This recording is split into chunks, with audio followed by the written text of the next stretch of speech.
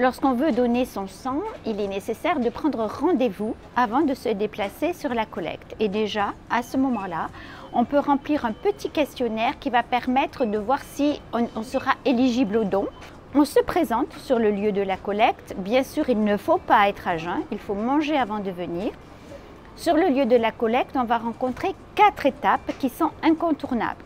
Première étape, c'est l'inscription du donneur. On va relever l'identité de la personne, ses coordonnées, pour faire en sorte de pouvoir l'informer s'il y a une anomalie dans son sang ou bien l'inviter à revenir ultérieurement.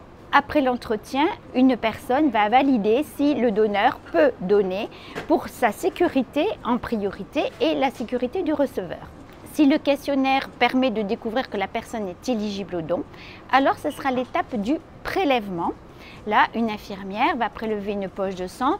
Le prélèvement lui-même ne va durer que 6, 8 minutes, 10 minutes maximum. Et une fois que le prélèvement est fait, c'est la pause à plus, une collation. On doit rester 20 minutes sur le lieu de collecte où on va s'hydrater, s'alimenter pour pouvoir repartir en pleine forme, reprendre ses activités ordinaires.